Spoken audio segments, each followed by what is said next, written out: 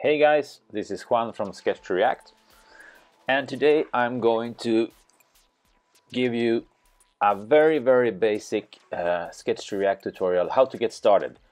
Uh, maybe you found this our website, uh, you checked everything out, nice trailer here, top features, you say oh this sounds awesome, you join the force, great of you uh, you got all the files, the code app, etc, etc, and now you don't know what to do. So this is what you need to do. Let's jump into Sketch. I created a new Sketch document.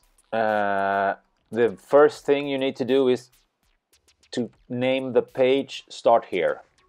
Mm, not page one. Uh, nothing will work in our app so start here. You can take this away. You can have several pages, but the page that I refer to as the code page needs to be called start here. The first artboard needs to be called start.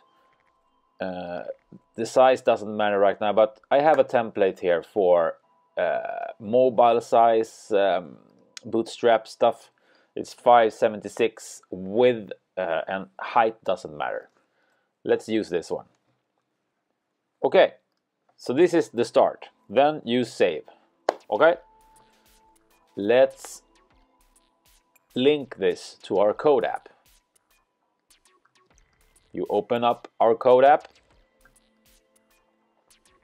You link uh, your sketch file and nothing. Okay, Let's create our first code component. So how do you create code components? You, it's really easy. You use the built-in tools in Sketch. Let's use the text tool.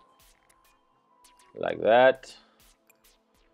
Boomba shakalak shukalunka. Uh, let's make it big. Like that. Why is it blue? Uh, it's alright. Let's make it like that. And let's make this one bold. Let's make yes. Okay. If you save right now and look in our code app, nothing is here. Why? Because our code app does not know that this is a text component. How do you do that?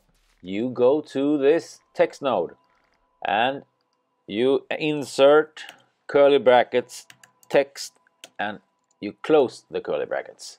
Now, let's check it out in our code app. Boom! This is how you create a code component. In this case, it's a text component. It's this easy.